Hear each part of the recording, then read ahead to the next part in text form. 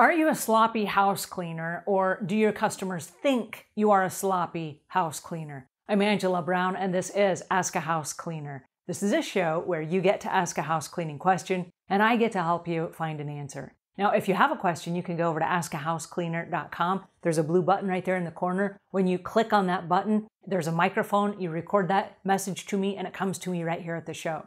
So there was somebody that wrote into the show. If you want to write in, it's angela at askahousecleaner.com. Somebody wrote into the show and they have this concern. They said that their house cleaner became sloppy. And as we started exchanging emails back and forth, the story unraveled. The house cleaner still does a really great job and their work is proficient and it's great. But the sloppy house cleaning idea came from the house cleaner themselves. Here's what happened. During COVID, when the world shut down, so did the house cleaner. They got up every day and they went to the couple of jobs that they had on the couple of days a week that they had those jobs. And on the other days, they didn't shower and they didn't shave and they kind of grew a little bit scruffy, right? So this guy shows up and normally he's very clean cut, he's well presented, his clothes are pressed, he wears a uniform, he looks fantastic, and all of a sudden he looks like a mountain man. He's got this long beard, he stopped coloring it. I guess he was coloring his hair before. It's now gray. He's got all kind of wiry gray hair that isn't even combed. And I guess before it was short and also colored. And because of the, the COVID pandemic, and it happened right about the time when everything shut down, he just kind of got sloppy. And because he was looking sloppier, his clothes were not pressed either. So, like, he jumped out of bed and he just threw on a shirt and now it's wrinkled.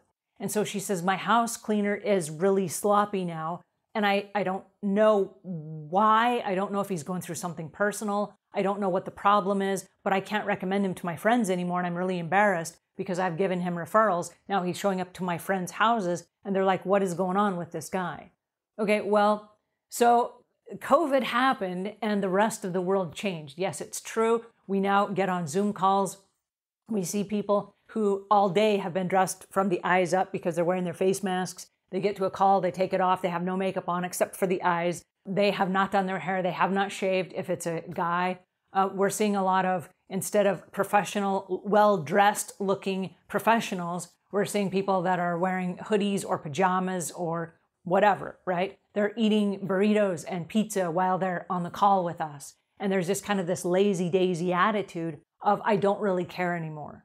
But what I need to challenge you to be aware of, and this is for all professionals everywhere, is that while you are still kind of like taking it easy on COVID, you're still part of a brand, and that is your company brand, and that's how your customers feel about you. And if your customers behind your back feel like, wow, they've gone off in the deep end, they don't look professional, I'm embarrassed that they're coming to my house, I'm embarrassed to be recommending them, maybe you should up your game again. Maybe you should realize that, wait a second, I have a brand I have to protect. And what happens when COVID is over and business picks up again? What happens when you go out there? Your customers are going to remember how you were during this weird period of time where you didn't shower and you didn't shave and you wore pajamas or wrinkly clothes to work and you didn't promote that brand.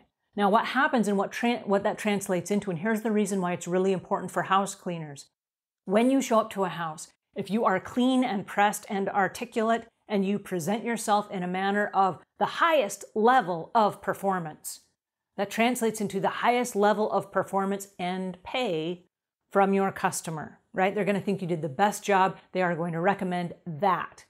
But if it's sloppy, what they're going to think of is, well, wait a second, the work is sloppy as well. Why am I paying top dollar for a sloppy house cleaner? And so maybe it's just you that's sloppy and the work is still proficient and, you know, looks fantastic.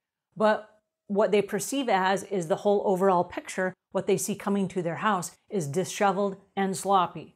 And they don't want to pay for that. They don't want to pay top dollar for that. So, my encouragement to you is are you a sloppy house cleaner? And just stop, take a look, take a look at your person, take a look at your cleaning caddy, take a look at your car. Did you kind of let things slide during COVID? Or are you still on top of your game? That's my question to you. And if you are sliding and sloppy, get back on top of your game because right now you have a chance to save your brand.